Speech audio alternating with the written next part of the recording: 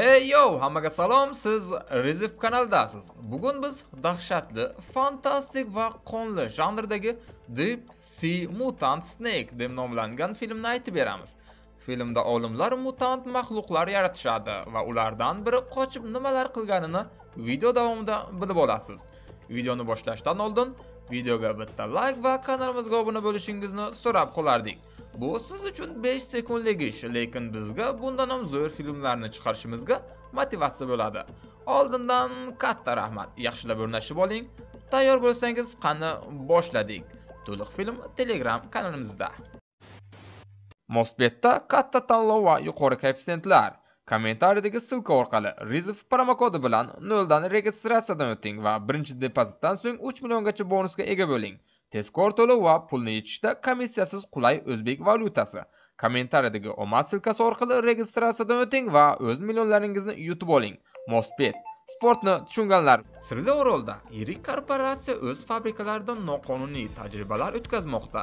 Kompaniya egasi jon inson buyrug'iga ham amal qila oladigan mukammal biologik qurol ishlab chiqarishdagi uzluksiz muvaffaqiyatsizliklardan so'ng laboratoriyaga borishga qaror qiladi. Eng yomoni hukumat ham ularning noqonuniy loyihasini tekshira boshlaydi. Egasi esa u yerni yo'q qilishga qaror qiladi. Jon o'zining asosiy eksperimentining oldiga keladi va u bilan odamlar ustidan hukmronlik qilishi mumkinligini faraz qiladi. Biroq yirtqich odamlarni xo'jayin sifatida tan olmaydi. Jon esa uni yo'q qilishga qaror qiladi. Olimlar ulkan yirtqichga zahar yuborishadi. Tashqaridagi ishchilar son sanoqsiz ilonlarni yoqib yuborishadi. Afsuski zahar ulkan yirtqichni o'ldira olmaydi, balki uni yanada kuchaytiradi. Buni odamlarga qarab bo'kirishidan bilib olishimiz mumkin. Uning qichqirig'idan boshqa ilonlar uyg'onadi va laboratoriyadan qocha boshlashadi. Olimlar ulkan yirtqichni yoqishmoqchi bo'lishadi, chunki u bu yerdan chiqmasligi kerak. Chuqurlar ichidagi ilonlar qarshilik ko'rsatishni boshlaydi. Jon qochmoqda va askarlariga guvohlarni yo'q qilishni buyuradi. Shu payt eksperimental mavjudotlardan biri chiqib ketadi va barcha askarlarni o'ldiradi. Katta ilon esa ozod bo'ladi. Jon vertolyotlar tomon yuguradi. Qo'riqchilar esa askarlar bilan qo'lishadi. Ular o'rmonga qaytishadi. Ba'zini esa ilonlar bosib oladi. O'rmondagi askarlar birin-ketin o'lishadi va faqat ikkita qiz omon qoladi. Qizlarni o'qlari tugashi bilan pichoq ishlatishadi. Lekin katta ilon hujum qilib, ulardan birini og'ir jarohatlaydi. Boshqa qiz ilon do'stini o'ldirmoqchi ekanligini ko'rib, darhol ilonni orqa tomoniga pichoq uradi. Ilon juda kuchli edi. Shuning uchun u qizni uloqtirib tashlaydi. Qiz omon qoladi, lekin uning do'sti allaqachon o'lganini ko'radi. Ilon esa tezda uni ushlab siqa boshlaydi. Qiz esa qichqiradi. Ilon esa uni yamlamay yutadi. Esiz, qiz jalki ketdi. Ikki askar oroldan qochib qayiqqa chiqishadi, lekin katta ilon ularni ham yamlamay yutadi. Bir yil o'tib, okeanda sayohat kemasi kelmoqda. Ular ertaga nima bo'lishini bilmay tinimsiz ziyofat qilishmoqda. Eng yomoni, sirli odam kapitanni o'ldirib, kemani o'sha orol tomon buradi. Boshqa odamlar nima bo'layotganidan umuman bexabar. Ko'p o'tmay, okean ostida ulkan soya paydo bo'la boshlaydi va odamlar son sanoqsiz ilonlarni payqashadi. Ma'lum bo'lishicha, okeandan kelgan minglab ilonlar kemani o'rab olgan va odamlarga hujum qilib o'ldirishmoqda. Odamlar o'rtasida tartibsizlik boshlanadi, chunki ular tirik qolishmoqchi. Bu kemada Tai ismli yo'lovchi sevgilisi Marley bilan ta'tilda bo'ladi. Ular qichqiriqni eshitib, nimadir bo'lganini tushunishadi. Odamlar qochmoqda. Shu bilan birga odamlar zaharlanib o'lishmoqda, chunki kemani hamma joyida ilonlar bor. Tai oshxonaga borib odamlarni ogohlantirmoqchi bo'ladi. Lekin afsuski, kech bo'lgan edi. Kattaroq ilon paydo bo'lib, odamlarni ovlay boshlaydi. Tai tirik qolganlar bilan boshqa joyga qochishadi. Lekin ularga ularni kuzatib borayotgan ulkan ilon hujum qiladi. Bu odamlar katta ilondan qochish uchun xonalarga qarab yugurishdan boshqa choralari qolmaydi. Ular oxir oqibat dvigatel xonasiga borishadi. Aftidan katta ilonni ko'zi ojiz, shuning uchun ularni sezmaydi. Biroq kema to'satdan to'xtaydi va shovqinlar yo'qolganida qizning telefoni jiringlay boshlaydi. Bu ilonni jalb qiladi. Odamlar yana yugurishga majbur bo'lishadi. Yaxshiyamki, tayi bolta bilan uni uradi. Sevgilisi esa o't o'chirgichni ilonga purkay boshlaydi bu ilonga dahshatli og'riq olib keladi va odamlarni qochishga imkon beradi lekin ular ilon osonlik bilan taslim bo'lishni xohlamasligini tushunishadi chorasiz odamlar sovuq xonaga kirishga majbur bo'lishadi. Chunki katta ilon ular tomon kelayotgan edi. Ularni ikki yo'llari bor muzlab o'lish yoki ilonga yem bo'lish. Eng yomoni yo'lovchining burnidan qon ketadi va marli u zaharlanganini ko'radi. Dorsiz o'lishi aniq. Taya eshikni ochib ilonni olib ketishga qaror qiladi. Lekin uning do'sti li bunga yo'l qo'ymaydi. Ular boshlashayotganda zaharlangan odam eshiklar tomon yuguradi va ilonni e'tiborini o'ziga tortadi. Odamlar darhol tashqariga chiqishadi va u ichkaridan eshikni yopib boshqalarni qutqaradi. Odamlar okeandan qochish kerakligini tushunishadi va ular kemani qayta ishga tushirishni o'ylashadi. Odamlar kayutaga chiqishadi va kapitan o'ldirilganligini tushunishadi. Ular kemani ishga tushirishadi. Ko'p o'tmay ular orol tomon ketayotganliklarini payqashadi biroq kemani nimadir to'xtatadi va derazalarni butunlay yopadi va ular buni bilish uchun tashqariga chiqishadi. Tay raketa otadi va ular bino tengligidagi yirtqichni ko'rib shokka tushadi maxluq jaj odamlarga qarab g'azab bilan bo'kiradi va odamlar sivorgudek qochishadi. Tay odamlarga qutqaruv qayig'ida qochishni aytadi.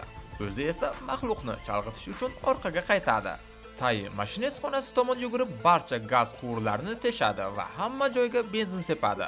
Odamlar umidsiz kemada maxluqqa qarshi kurashayotgan tayiga tikilishadi. Katta ilon kemani siqa boshlaydi. Tayi esa vaqt bo'lganini tushunadi. Tayi raketani otadi va kema portlab cho'kadi. Odamlar uni vafot etdi deb umidsiz qarab turishadi. Ammo tayi bir amallab ular oldiga suzib keladi. Ertasi kuni ular orolda uyg'onishadi. Omon qolganlar ilonlardan qutulganliklarini o'ylab tezda quruqlikka chiqishadi. Lekin ular bundan ham xavfliroq narsaga duch kelganliklarini bilishmas edi. Tayi bu yerda nimadir noto'g'ri ekanligini bilib darhol bu hududni tark etish kerakligini aytadi. Shu payt qoya ichidan maxluq chiqib bir odamni tortib olib ketadi. Odamlar o'zlarini jiddiy xavf ostida qo'yganliklarini tushunishadi. Chunki yirtqich maxluqlar odamlarni olib ketishni davom etishadi. Tay maxluqlarga qon kerak ekanligini tushunadi. Chunki ular faqat jarohatlangan odamlarni o'ldirishardi. Tirik qolgan odamlar o'rmonga chuqur kirib harbiy lagerga yetib borishadi. Ular ratsiya va qurollar topishadi. Odamlar noma'lum narsalarni o'rganishda davom etishadi. Ammo tay nimadir harakatlanayotganini seza boshlaydi. Ko'p o'tmay omon qolgan dahshatli narsani ko'rishadi.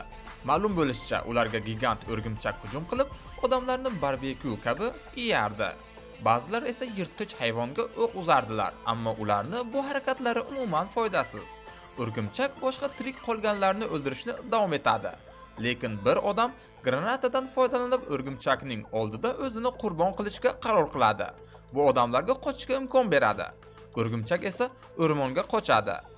Omon qolganlar yo'lni davom etishadi va laboratoriyaga yetib borishadi. Ular binoga kirishadi va mutant ilonlar ustida o'tkazilgan tajribalarning son sanoqsiz hujjatlarini ko'rishadi.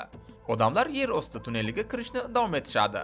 Ajablanarlisi shundaki binoda elektr hali ham bor edi. Omon qolganlar nihoyat oziq ovqat va ichimliklar topishadi. Ovqat yeganlaridan keyin uxlab qolishadi. Ulardan biri yashirincha qayergadir boradi. Tay ham uyg'onadi va u odamni yo'qligini ko'radi va uni qidirishni boshlaydi. Tayi yer osti tunnelini yana bir bor qidiradi. Lekin u izlayotgan odam ikkinchi qavatda va laboratoriya tadqiqotlarini o'g'irlaydi. Shu bilan birga li ham uyg'onib ketadi lekin do'sti xavf ostida ekanligini anglamaydi.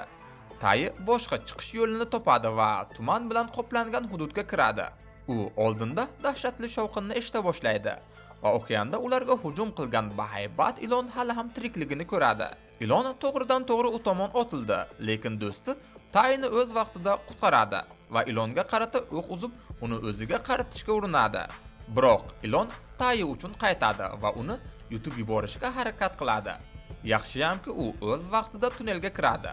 Bu esa chiqish yo'lini butunlay yopadi va do'sti tashqarida qolib ketadi. U odamlarga dahshatli xabarni yetkazadi. Shu payt kimdir ratsiyada gaplasha boshlaydi bu ularga yordam so'rashga imkon beradi ammo odamlar ularni to'xtatib turgan ulkan ilon bo'lsa hech qanday qochib qutulolmasliklarini tushunishadi Tayi mutant ilonni yo'q qilish rejasini o'ylab topadi. Ular ilonga tuzoq qo'yishadi. Tayi ilonni jarlik tomon olib borishni va uni yirtqich hayvonlar to'dasiga sakratishni rejalashtirmoqda. Ular esa ilonni o'ldiradi. Ertasi kuni ertalab odamlar rejaga tayyorgarlik ko'rishadi va daraxt orqasidan kuzatishadi. Biroq odamlardan biri tezda pichoqni olib Tayini o'ldirmoqchi bo'ladi. Ammo Tay va uning do'sti hujumni qaytarib qolishadi. Tay uni kimligini so'raydi va u bu laboratoriyada ishlagan shifokor ekanligi ma'lum bo'ladi. Olim askarlarning hujumidan qocha olgan va mutant mavjudotlar ustida tajriba o'tkazishni davom ettirishni rejalashtirgani uchun kemaga ishga kirgan. Shifokor bu insoniyatga katta foyda keltirishga ishonadi. Ammo Tay sen ahmoqmisan deb aytadi. Shu payt katta ilon keladi va uni o'zlari qurgan tuzoq tomon jalb qilishga harakat qilishadi. Ammo ilon tuzoqlardan oshib, olim orqasida paydo bo'ladi. Tay bahaybat ilonni ko'rib qochadi va shifokorni o'z ijodi yamlama yutadi. Ilon uni o'rmon bo'ylab quvadi va Tay umidsiz holda undan qochadi.